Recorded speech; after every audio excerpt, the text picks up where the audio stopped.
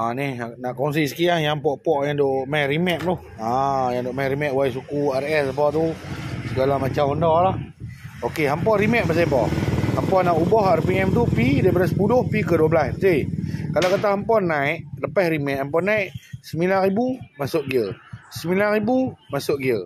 9000 masuk gear. Hampa jangan main remap, buang duit hampa. No?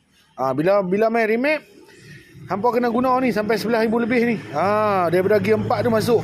11 lebih masuk. So dia jatuh sikit dia naik balik gear 5. Ha, bila gear gear 5 pergi gear 6 pun dia jatuh sikit dia naik. Ha, so final gear kita nak uh, kalau kata uh, y suku gear 5 duk 10,000 setengah. RS duk 10 10,000 setengah. Y16 duk 10,000 setengah. SYN 10,000 setengah. Ha, tu final gear dia. Faham tak? Ha, kalau kata main duk naik macam 7,000 nak masuk gear tak usah tak usah main remap buang duit. No? Faham kot? No?